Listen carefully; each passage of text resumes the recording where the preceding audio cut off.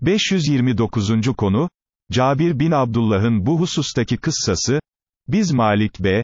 Abdullah el-Hasami'nin kumandan olduğu bir fırka içindeydik, Rum diyarında ilerliyorduk, Cabir bin Abdullah katırından inerek onu çekmeye başladı, Malik ona, ey Eba Abdullah, bin, Allah Teala sana binek vermiştir, dedi, Cabir, ben hayvanıma istirahat veriyorum, hem de Hazreti Peygamberden, kim ki iki ayağı Allah yolunda tozlanırsa, Allah ona ateşi haram kılar, dediğini duydum, dedi.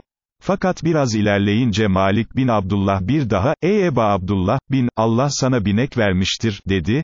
Bu sefer Cabir Malik'in maksadını anlayarak onun gibi yüksek sesle aynı cevabı tekrarladı. Bunun üzerine herkes bineklerinden indi. O gün ordunun en fazla yaya yürüdüğü bir gün oldu.